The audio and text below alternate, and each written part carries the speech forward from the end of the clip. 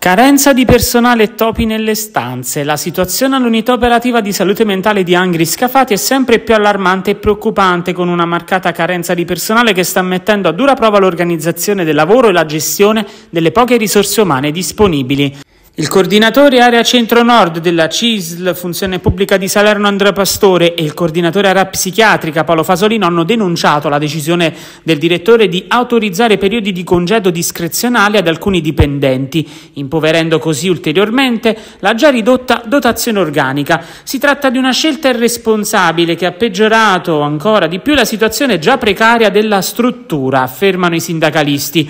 A complicare ulteriormente la situazione, il dirigente medico medico responsabile dell'unità operativa che ha cercato di risolvere la mancanza di personale mettendo una disposizione per ridurre i turni notturni degli operatori, mettendo a rischio l'incolumità dei pazienti. Questo ha portato alla ratifica delle dimissioni del responsabile infermieristico, evidenziando una totale mancanza di capacità di gestione da parte della dirigenza. Oltre a questi gravi problemi organizzativi si aggiunge la presenza documentata di una colonia di topi che da giorni invadono la sede di Piazza Annunziata senza che venga attivato alcun protocollo di derattizzazione. Eh, la situazione dell'UOSM anche Scafati sta sfuggendo di mano, poiché vi è una forte carenza di organico, atteso che secondo la delibera 190 il piano triennale del fabbisogno le dotazioni organiche dovrebbero essere di gran lunga superiori.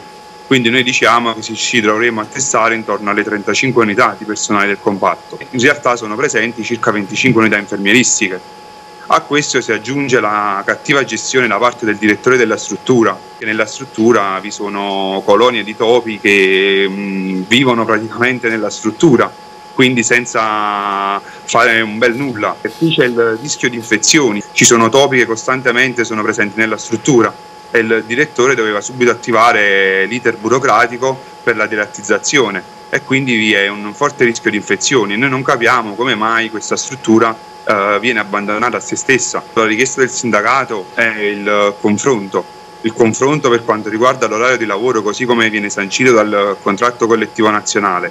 Uh, noi abbiamo dato di tempo 5 giorni al direttore affinché ci convochi per il confronto e per trovare una soluzione insieme.